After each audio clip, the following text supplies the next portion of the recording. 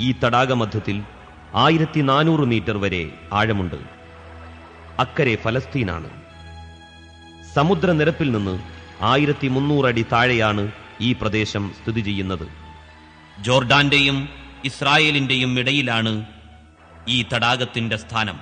അധ്യായം ഇരുപത്തി ഒമ്പത് അങ്കബൂത്ത് മുപ്പത്തിനാല് മുപ്പത്തിയഞ്ച് സൂക്തങ്ങളിൽ അള്ളാഹു പറയുന്നു. إنا منزلون على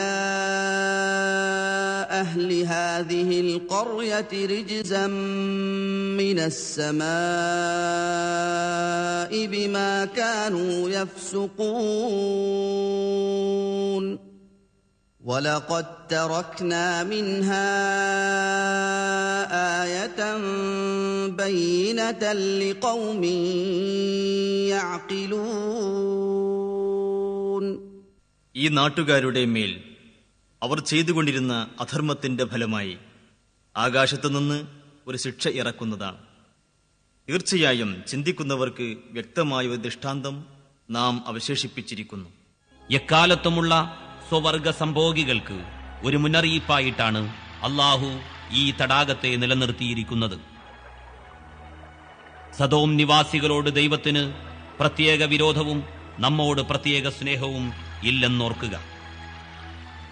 ഭൗതിക ശിക്ഷകൾക്ക് പുറമെ ഭയാനകമായ നരകശിക്ഷയും പരലോകത്ത് അക്കൂട്ടർക്ക് ഒരുക്കി വച്ചിട്ടുണ്ട്. ഈ ദുഷ്പ്രവർത്തനത്തിലേർപ്പെടുന്നവർ അതിൽ നിന്ന് പിന്തിരിയുക. ചരിത്രത്തിൽ നിന്ന് പാഠം പഠിച്ച് പരിശുദ്ധ ജീവിതം നയിക്കുക.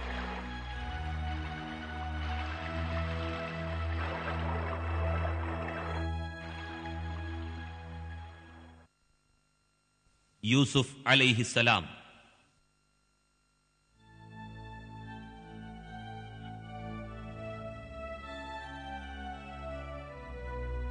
യഅക്കൂബ് അഥവാ ഇസ്രായേൽ എന്ന പ്രവാചകന്റെ മകനായിരുന്നു യൂസുഫ് നബി.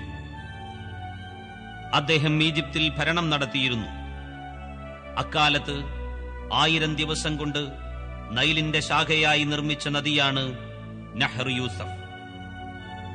ആയിരം ദിവസം അഥവാ അൽഫിയവും എന്ന പദം ലോപിച്ചുണ്ടായ അൽഫയ്യൂം പ്രദേശത്തുകൂടെയാണ് ഈ നദി ഒഴുകുന്നത്.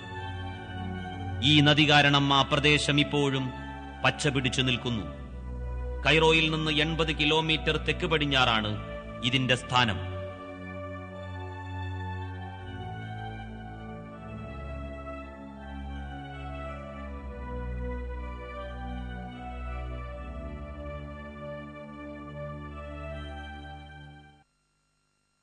ഷുഐബ് അലൈഹിസ്സലാം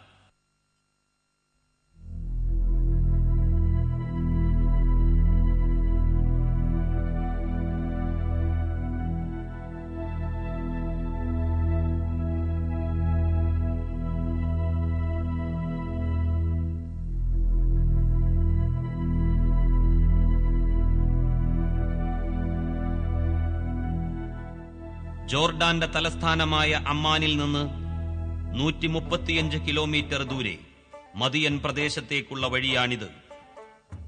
അളവിലും തൂക്കത്തിലും കൃത്രിമം നടത്തി ജനങ്ങളെ ചൂഷണം ചെയ്യൽ പതിവാക്കിയിരുന്ന മദിയൻ ജനതയിലേക്ക് അള്ളാഹു അയച്ച ദൂതനായിരുന്നു ഷുഐബ് നബി. അള്ളാഹുവിനെ മാത്രം ആരാധിക്കുക അളവിലും തൂക്കത്തിലും കൃത്യത പാലിക്കുക അദ്ദേഹം തന്റെ ജനതയെ ഉപദേശിച്ചു ഉപദേശം തുടർന്നുകൊണ്ടിരുന്ന അദ്ദേഹത്തെ അവർ പരിഹസിച്ചു കച്ചവടത്തിൽ കൃത്രിമം നടത്തുന്നത് അവർ തുടർന്നു എന്നാൽ അവരും അള്ളാഹുവിന്റെ ശിക്ഷയിൽ നിന്ന് ഒഴിവാക്കപ്പെട്ടില്ല അധ്യായം പതിനൊന്ന് ഹൂദ് തൊണ്ണൂറ്റിനാല് തൊണ്ണൂറ്റിയഞ്ച് ولما جاء أمرنا نجينا شعيبا والذين آمنوا معه برحمة منا وأخذت الذين ظلموا الصيحة وأخذت الذين ظلموا الصيحة فأصبحوا في ديارهم جاثمين നമ്മുടെ കൽപ്പന വന്നപ്പോൾ ഷുവായിബ് നബിയെയും അദ്ദേഹത്തോടൊപ്പം വിശ്വസിച്ചവരെയും നാം രക്ഷപ്പെടുത്തി. അക്രമം ചെയ്തവരെ ഘോര ശബ്ദം പിടികൂടുകയും ചെയ്തു. അങ്ങനെ നേരം പുലർന്നപ്പോൾ അവർ തങ്ങളുടെ പാർപ്പിടങ്ങളിൽ വീണുകിടക്കുകയായിരുന്നു. അളവിലും തൂക്കത്തിലും കൃത്രിമം നടത്തുന്നവർക്ക് എക്കാലത്തേക്കും മുന്നറിയിപ്പായി മതിയൻ താഴ്വര ശൂന്യമായി ഇപ്പോഴും കിടക്കുന്നു. അള്ളാഹു ഷുഐബ് നബിയെ രക്ഷപ്പെടുത്തിയത് ജോർഡാനിലെ സൽത്തുന് സമീപത്തേക്കാണ്.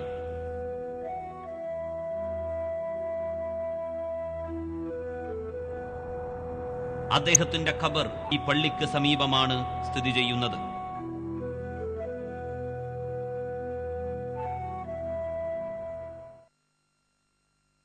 മൂസ അലൈഹിസലാം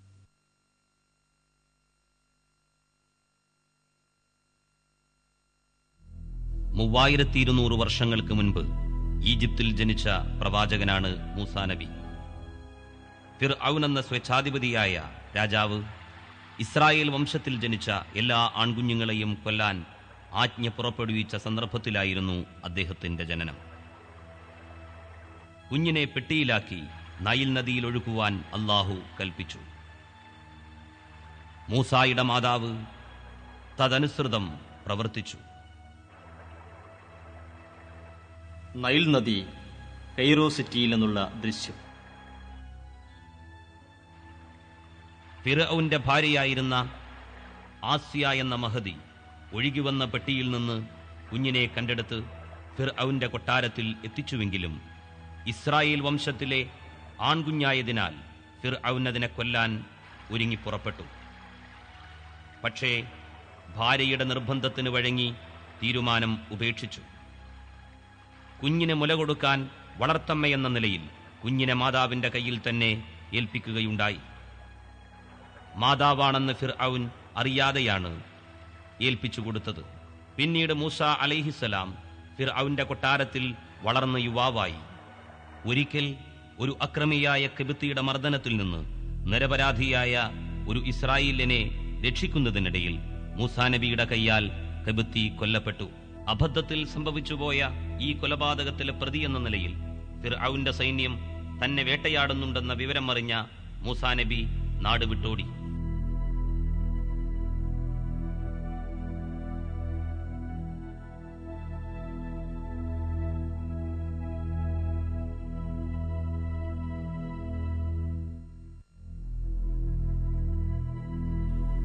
സിനായും ഇസ്രായേലിലെ നേഗേവ് മരുഭൂമിയും കടന്ന് അറുന്നൂറ് കിലോമീറ്ററിലധികം ഒറ്റയ്ക്ക് സഞ്ചരിച്ച് മദിയനിൽ അദ്ദേഹം എത്തി.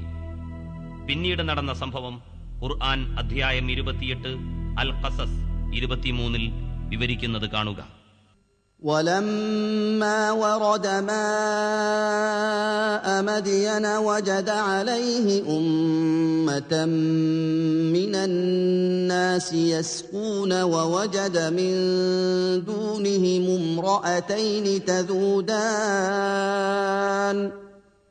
ووجد من دونهم امرأتين تذودان قال ما خطبكما قالتا لا نسقي حتى يصدر الرعاء وأبونا شيخ كبير മദിയനിലെ വെള്ളസ്ഥലത്ത് അദ്ദേഹം എത്തിയപ്പോൾ ആടുകൾക്ക് വെള്ളം കൊടുത്തുകൊണ്ടിരിക്കുന്ന ഒരു കൂട്ടം ആളുകളെ അതിനടുത്ത് അദ്ദേഹം കണ്ടെത്തി അവർക്കിപ്പുറത്ത് ആടുകളെ തടഞ്ഞു നിർത്തിക്കൊണ്ടിരിക്കുന്ന രണ്ട് സ്ത്രീകളെയും അദ്ദേഹം കണ്ടു. അദ്ദേഹം ചോദിച്ചു നിങ്ങളുടെ പ്രശ്നം എന്താണ്? ആട്ടിടയന്മാർ വെള്ളം കൊടുത്ത് തിരിച്ചു പോകുന്നതുവരെ ഞങ്ങൾക്ക് വെള്ളം കൊടുക്കാനാവില്ല. ഞങ്ങളുടെ പിതാവാണെങ്കിൽ വലിയൊരു വൃദ്ധനുമാണ്. അവരുടെ ആടുകൾക്ക് തിരക്കിനിടയിൽ ചെന്ന് മൂസാ നബി വെള്ളം കോരിക്കൊടുത്തു. ഇതാണ് ഖുർആൻ പറഞ്ഞ ആ മദിയനിലെ വെള്ളസ്ഥലം അധ്യായം ഇരുപത്തിയെട്ട് കസസ് ഇരുപത്തിനാലാം സൂക്തം فسقى لهما ثم تولى الى الظل فقال رب اني لما انزلت الي من خير فقير